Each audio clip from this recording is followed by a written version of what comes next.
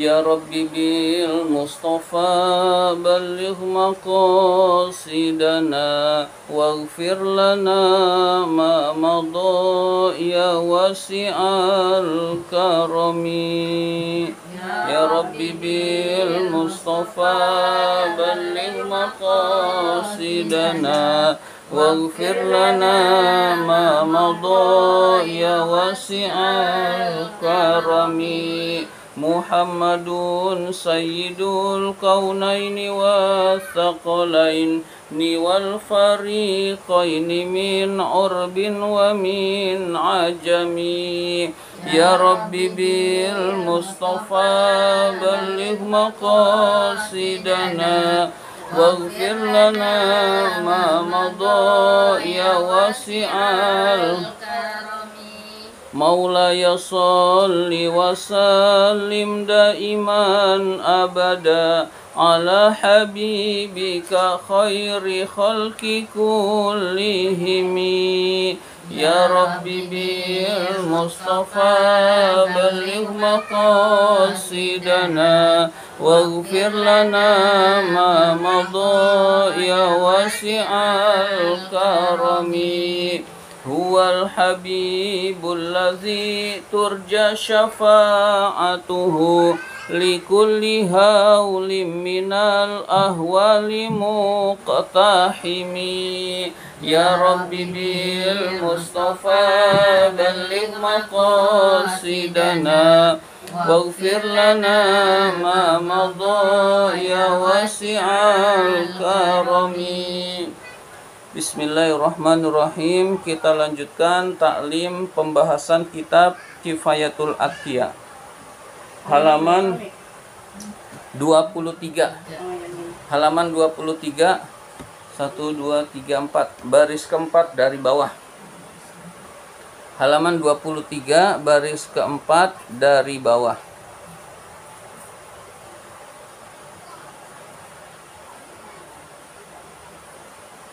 Bismillahirrahmanirrahim. Wa minha dan di antaranya ini khobar muqaddam.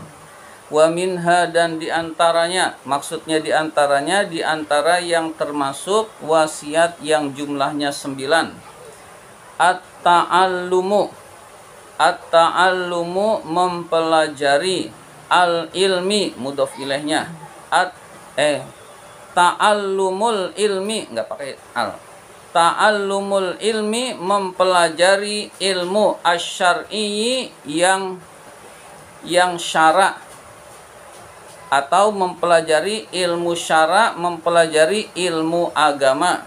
Ya jadi asyar'i itu adalah syara atau ajaran agama lalu syar'i itu diberi ya nisbah ya yang menunjukkan sifat sehingga isim yang ada ya nisbatnya di belakang menunjukkan sifat Islam, Islamiyi, Islamiyah. Jadi itu menunjukkan sifat syar'i, syar'iyah, syar'iyi. Kalau muzakar tidak ada tak marbutohnya, kalau muannasnya pakai tak marbutoh. Ad-din menjadi dini atau diniyah. Jadi kata isim yang diberikan ya nisbat itu bisa menunjukkan sifat jadi asyari adalah syar'i atau ilmu agama.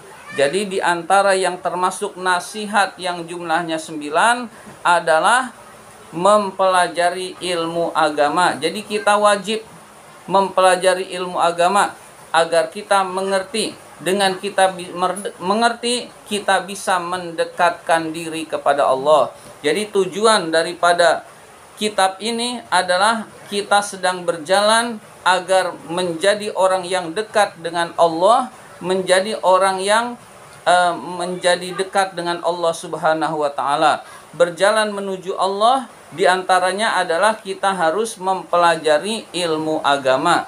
Jadi al ilmu atau ilmu syar'i al ilmu syar'i maksudnya adalah ilmu agama. Jadi kita harus mempelajari ilmu agama. Ai yaitu minal wa minal wasayat tis'i di antara yang termasuk wasiat yang jumlahnya sembilan ta'allumul ilmi syar'i mempelajari ilmu agama. Jadi kita harus mempelajari ilmu agama. Wahua yaitu. Maksudnya ilmu agama yaitu. Al ulumus salah satu ilmu yang tiga. Ilmu yang jumlahnya ada tiga. Jadi ilmu agama itu apa? Ilmu syara itu apa? Ilmu yang jumlahnya ada tiga. Alati sayusarrihu biha. Yang akan dijelaskan oleh musannif pengarang kitab ini. Yang akan dijelaskan oleh pengarang kitab ini apa ilmu yang tiga itu? Wahia yaitu. Nah apa itu itu ilmu yang tiga? Wahia yaitu. Al ilmu lazi yusahihul ibadata. Ilmu yang bisa memperbaiki ibadah yang bisa membenarkan ibadah ibadahnya tadi salah jadi benar bisa memperbaiki ibadah al ilmu ladzi yusahihul ibadata ilmu yang bisa memperbaiki ibadah kita kepada Allah Subhanahu wa taala. Itu yang pertama. Berarti ini adalah ilmu fikih. Berarti ini adalah ilmu fikih. Ilmu tentang toharoh, ilmu tentang sholat, ilmu tentang puasa, ilmu tentang uh, zakat, ilmu tentang haji, ilmu tentang muamalat dan lain-lain itu ilmu fikih. Wal ilmu dan ilmu allazi yusahihu yang bisa memperbaiki yang bisa membenarkan al aqidata akidah jadi yang bisa memperbaiki akidah kita kepada Allah jadi akidah itu kunci utama jadi akidah itu pondasi dasar yang harus kita ketahui kalau akidahnya salah ibadahnya salah kalau akidahnya benar, baru kita belajar fikih. Jadi akidah itu lebih utama. Sifat-sifat Allah harus tahu. Jangan sampai kita nggak mengerti tentang Allah, lalu sifat-sifat Allah tidak tahu, sifat yang wajib, yang mustahil, yang jais kita nggak tahu, lalu kita ibadah. Lalu ibadah kita membayangkan Allah, nggak tahu kalau Allah itu mukhalafatul lil hawadis, berbeda dengan makhluknya sehingga membayangkan Allah jadi kita menyembah yang bukan Allah. Nah, berarti kacaulah ibadah kita. Jadi tauhid itu harus benar. Tauhid harus kita kuasai dengan baik. Wal ilmu lazi yuslihu al qalba wal ilmu lazi yuslihul qalba dan ilmu yang bisa memperbaiki hati jadi ilmu yang bisa memperbaiki hati disebut dengan ilmu tasawuf atau ilmu akhlak. Ilmu tasawuf dan ilmu akhlak itu sumbernya adalah dari perilaku Rasulullah Sallallahu Alaihi Wasallam. Jadi ilmu yang harus kita pelajari ilmu fikih, ilmu tauhid dan ilmu akhlak atau ilmu tasawuf. Nah kita harus pelajari. Ya suatu saat uh, kita niat. Niat uh, dari sekarang meskipun sudah tua niat tidak berhenti menuntut ilmu. Selanjutnya syairnya. Wa ta'allaman ilman yusahhihu ta'atan wa akidatan wa muzakkiyal qalbis qala wa ta'allaman ilman yusahhihu ta'atan wa akidatan wa muzakkiyal qalbis qala wa ta'allaman. Sungguh belajarlah. Asalnya ta'allam belajarlah lalu dikasih nun taukid khafifah nun taukid yang uh, ringan jadi ada sakilah ada khafifah khafifah itu tidak bertasdid sakilah itu bertasdid wa ta'allaman sungguh belajarlah sungguh pelajarilah. Jadi ini fil amar, sungguh pelajarilah ilman ilmu. Nah, ilmu apa yang dipelajari? yusahihu yang bisa memperbaiki, yang bisa membaguskan, membenarkan, membetulkan taatan, taat pada Allah yang bisa membetulkan kita taat kepada Allah jadi benar. Ibadah kita jadi benar, yaitu ilmu fikih. Pelajarilah ilmu fikih. Wa akidatan, membenarkan akidah. Wa akidatan atau ketaatan jadi nasab juga. Membenarkan akidah kepada Allah. Akidahnya benar, taatnya benar atau ibadahnya benar. Wa muzakkiyal qalbi dan mem mensucikan hati, membersihkan hati, iskola yang cemerlang, iskola yang terang benderang atau yang cemerlang. Jadi ilmu yang bisa memperbaiki hati, mem, menghiasi zakayu zaki, me, ya membaguskan atau menghiasi hati sehingga menjadi terang benderang sehingga menjadi cemerlang hati tersebut. Jadi ilmu yang harus kita pelajari ilmu tauhid, ilmu fikih dan ilmu tasawuf. Ini harus kita pelajari dengan baik. Kita lanjutkan. Tadi itu syairnya. E, jadi keterangan ini berdasarkan syair. Lalu syair itu di uh, di, dijelaskan disebut dengan syarahnya. Yakni yaitu yajibu wajib alaika bagi kamu ayyuhas saliku wahai orang yang menempuh arrohibu dan orang yang berharap fima di dalam apa-apa yusiluka sampai kepadamu ila ridallahi kepada keridoan Allah wa rasulihi dan rasulnya. Jadi wajib bagi kamu kamu siapa? Orang yang menuju perjalanan menuju Allah perjalanan agar bisa dekat dengan Allah agar mendapatkan keridoan Allah dan Rasulnya. Apa yang wajib? Nah ini berarti fa'ilnya. Fa'ilnya yajibu jadi kita bisa bayangkan yajibu wajib. Lalu lalu failnya uh, nggak bisa lagi ngaji. Bisa aja. Iya.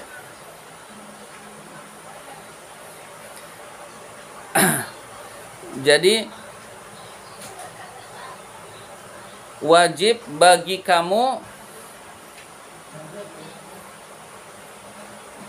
Jadi wajib bagi kamu Eh, lalu fa'ilnya yajibu adalah anta ta'allama. Anta ta'allama mempelajari ilman ilmu. Ya, jadi fa'ilnya berupa an lalu an dengan fi'il mudori jadi dianggap masdar masdar muawal jadi wajib bagi kamu mempelajari ilmu yusohihu yang bisa membaguskan yang bisa membetulkan. To'ataka taat kamu. Jadi yang bisa membetulkan, membenarkan taat kita kepada Allah wa ibadataka dan ibadahmu min wuduin berupa berwudu. Jadi dari berwudu kita perbaiki wudunya, airnya juga wasolatin berupa solat wasaumin berupa puasa wazakatin berupa zakat wa hajin berupa haji wa muamalatin dan berupa muamalah. Muamalah itu hubungan antara sesama manusia. Di antaranya adalah jual beli. Itu bagian dari muamalah. Ala wifki syariati atas kesesuaian dengan syariat. Al mutahharati yang suci yang bersih. Jadi syariat yang benar. Jadi kita mempelajari ilmu fikih di antaranya adalah ini bukan uh, wudhu lalu airnya enggak. Ini hanya hanya contoh. Kita contohnya adalah ilmu berwudu kita tahu, ilmu tentang sholat kita tahu, ilmu tentang puasa kita tahu, ilmu tentang zakat, tentang haji, tentang muamalah, itu semua kita harus tahu dan lain-lain Ya, jadi semua itu harus kita pelajari agar ibadah kita benar menurut Allah Subhanahu wa taala. Iz karena al amalu min ghairi ilmin. Amal tanpa ilmu batilun adalah batil, adalah kebatilan atau tidak diterima oleh Allah Subhanahu wa taala. Jadi karena amal tanpa ilmu min ghairi ilmin tanpa ilmu batilun adalah batil atau tidak diterima oleh Allah Subhanahu wa taala. Kita beramal salat, salatnya salah, kita menganggap kita udah benar padahal dianggap tidak sholat oleh Allah Subhanahu wa taala. Lalu di akhirat baru tahu, baru tahu kalau sholatnya selama ini salah, nggak ada ampun karena sudah di akhirat. Wah saya sibuk nggak sempet nyari ilmu salah sendiri.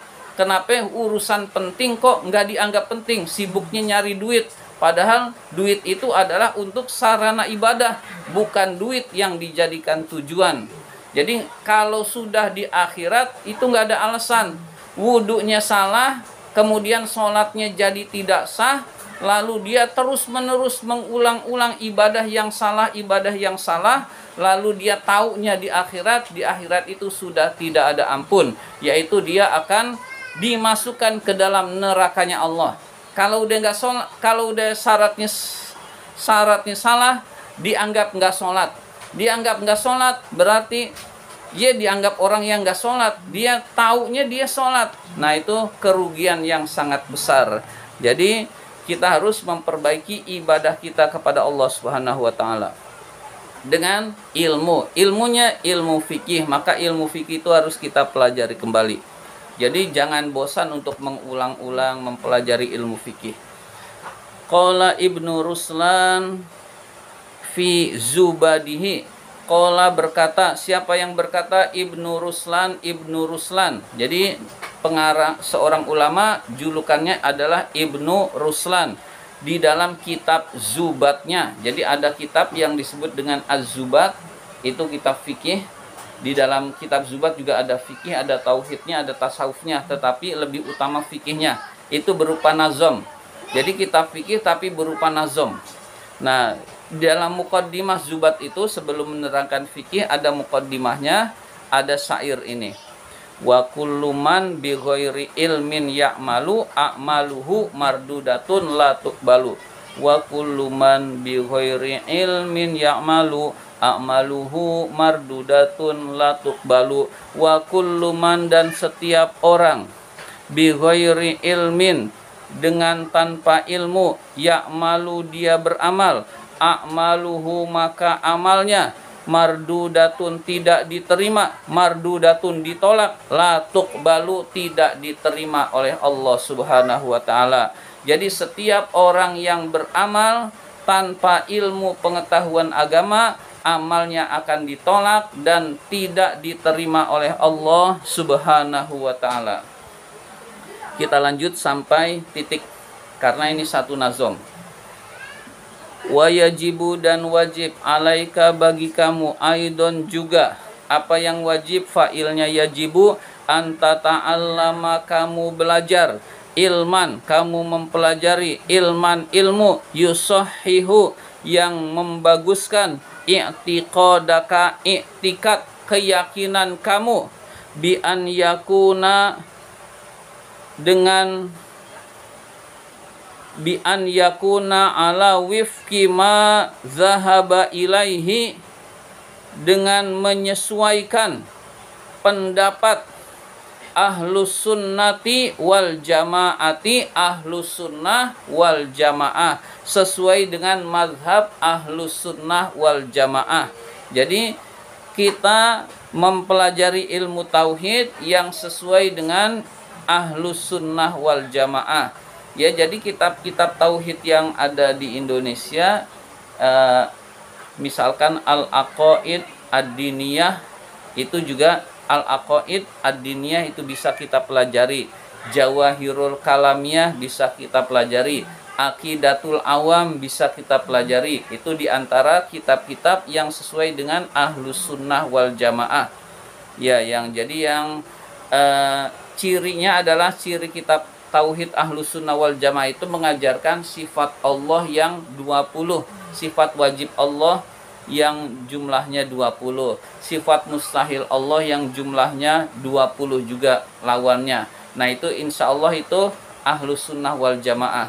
Itu berdasarkan Al-Quran dan sunnah dan kita yakin dalil-dalilnya ada di di sarah-sarahnya yang lebih besar lagi. Nah jadi itu untuk orang awam ya tinggal apalin aja Allah itu ada. Allah itu wujud kidam dahulu tidak berpermulaan. Itu semua memakai dalil. Cuma untuk orang awam jarang dibahas dalilnya. Dalil Al-Quran dalil nakli maupun dalil aklinya. Nah itu tauhid intinya kita harus pelajari. Tauhid intinya harus kita pelajari agar Allah yang kita sembah tidak salah wadzalika yang demikian itu mempelajari kitab tauhid itu litaharruzi bihi untuk menjaga diri, menjaga dengan ilmu tersebut anil i'tiqadati dari keyakinan-keyakinan al-fasidati yang rusak. Jadi yang tidak benar. Jadi ada keyakinan-keyakinan yang tidak benar. Ka'tiqadil mu'tazilati seperti keyakinan mu'tazilah jadi keyakinan Mu'tazilah itu ciri yang paling utamanya adalah menganggap semua ini usaha manusia. Manusia berhasil itu usaha manusia. Itu namanya Mu'tazilah. Nggak ada keterkaitannya dengan Tuhan, dengan Allah. Nah itu ciri dari Mu'tazilah. Wal Jabariyati dan Jabariyah. Nah ini akidah yang keliru juga akidah yang Jabariyah. Jabariyah itu semua adalah dari Allah. Semua adalah dari Allah. Saya mendapatkan nikmat dari Allah. Saya bermaksiat juga dari Allah. Berarti saya bermaksiat salah Allah. Nah, itu adalah Jabariyah semua dari Allah. Nah, itu juga kebalikan Mu'tazilah Jabariyah. Jadi kebalikan Mu'tazilah Jabariyah kita ahlus sunnah wal jamaah yaitu di tengah-tengah antara Mu'tazilah dan Jabariyah wal mujassimah dan keyakinan mujassimah. Mujassimah itu menjisimkan Allah. Menjisimkan Allah itu Allah punya tangan. Buktinya Allah punya tangan ada di di Quran. Yadullah fauqa aidihim. Lalu diterjemahkan tangan Allah di atas tangan mereka. Nah, ini namanya mujassimah. Allah punya mata karena bisa melihat. Jadi menjisimkan, meng, Allah itu punya organ-organ. Iya, tetapi tidak sama dengan uh, membayangkan Allah, tetapi tidak sama dengan uh, organnya bag, anggota tubuhnya manusia. Tetap itu disebut mujassimah dan tetap itu keliru dan itu tetap tidak benar. Jadi Allah itu laisa kamislihi syai'un. Ya, itu yang benar. Allah itu mukhalafatul hawadis. Nah, itu yang benar. Allah itu nggak bisa dibayangkan. Nah itu yang benar. Jadi kurang lebih seperti itu. Nah kita belajar tauhid agar tidak keliru kepada akidah-akidah yang menyimpang. Sepertinya dua baris lagi biar selesai satu paragraf. Jadi lebih enak. Wajibu alaika dan wajib bagi kamu juga, aidon juga anta ta'allama kamu mempelajari ilman ilmu yuzak yuzakil kolba yang bisa membersihkan hati wa dan mensucikan hati. Dari apa? Minal akhlaki zamimati dari akhlak yang rendah dari akhlak yang hina dari akhlak yang tercela. Zamim itu artinya rendah atau hina. Jadi dari akhlak yang tercela hati dibersihkan dari akhlak yang tercela. Dan itu pakai ilmu. Nggak pakai ilmu ya nggak bisa. Asal ngaji-ngaji doang sebetulnya nggak bisa. Buktinya ibu-ibu di majelis taklim. Tapi nggak pakai kitab nggak pakai ilmu nggak ada peningkatan. Hanya pengulangan-pengulangan mau izatul hasanah nasihat yang baik habis itu lupa lagi tapi kalau pakai kitab pakai ilmu dari awal diterangkan terus tam, tam, sampai tinggi sampai tinggi itu akan sampai. Jadi uh, ilmu tasawuf itu perlu diberikan. Jadi apakah majelis taklim buruk? Ya bagus, tetap bagus daripada nggak ada sama sekali. Tapi untuk meningkatkan itu nggak bisa meningkatkan. Tapi itu sangat bagus karena itu isinya adalah mau izatul hasanah nasihat yang baik daripada nggak dengar nasihat mendingan mendingan dengerin nasihat tetapi tetap itu masih kurang kalau untuk mendekatkan diri kepada Allah. Apa akhlak yang buruk itu kal kibri seperti sombong. Nah kita nggak boleh sombong. Waria ria pembahasan sombong juga nanti akan dibahas. Waria ria pamer amalnya uh, pamer bukan karena Allah ingin dipuji. Wal hasadi hasad dengki iri hati. Nah itu kita jauhi jadi hati ini benar-benar ikhlas, benar-benar bersih, tidak punya sifat dengki iri hati kepada orang lain. Wal hirsi, serakah terhadap dunia. Jadi dia serakah ingin memiliki dunia sebanyak-banyaknya. Itu namanya al-hirsi. Oh ya, rakus, serakus atau serakah wa ghairiha dan lain-lain. Jadi banyak amal-amal yang buruk sifat-sifat hati yang buruk min amrodil qalbi berupa penyakit-penyakit hati. Jadi penyakit-penyakit hati lainnya yang harus kita jauhi. Jadi ketiga ilmu ini benar-benar bekal untuk akhirat. Jadi kita jangan mikir, oh saya udah S1, saya udah sekolah, udah cukup bekal buat di dunia. Masih kurang. Menuntut ilmu itu nggak ada habisnya kemudian kalau di sekolah yang dipelajari ya bukan ilmu-ilmu ini tetapi ilmu cara nyari duit biar banyak ilmu perdagangan dan lain sebagainya jadi kita tetap terus menambah ilmu terutama ilmu-ilmu yang bisa mendekatkan diri kita kepada Allah Subhanahu wa taala. Demikian mari kita tutup dengan hamdalah. Alhamdulillahirabbil alamin